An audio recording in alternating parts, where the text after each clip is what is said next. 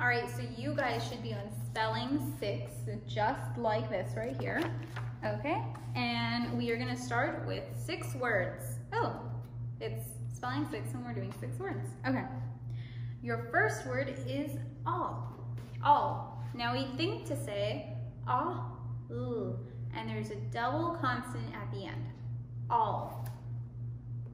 God is with me all the time. Go ahead and pause the button if you need to. Perfect. Your next word is my. Now we think to say, mm, I. But does English words end with I? No, they don't. My mother teaches me good things. My. Perfect. Next one is not. Do not withhold good. Not. We think to say n, a, t, not. Excellent job. Our next one is 10. We think to say t, e, n, 10. A dime is worth 10 cents. Great job, beginners. All right. Hat is our next one. We think to say at, hat. Abraham Lincoln removed his top hat to pray. Hat.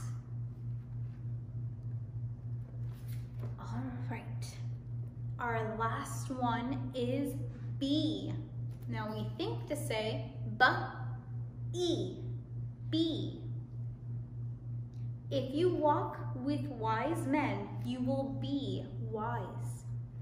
Be.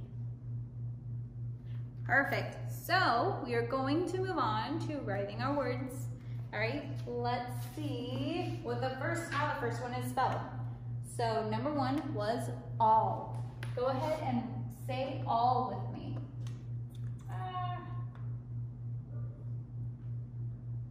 Uh, a, l, all. Excellent job. Your next one is my. Remember? M, I. English words don't end with I, so that means it is a Y. My. Your next one is not. How do we spell not? Oops.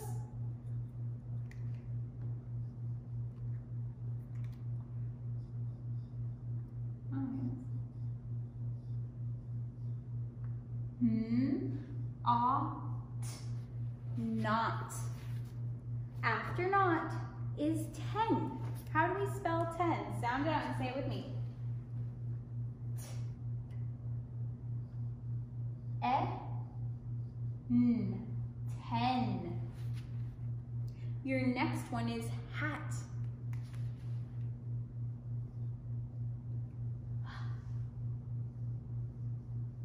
At. Hat. And your last one is B. How do we spell B?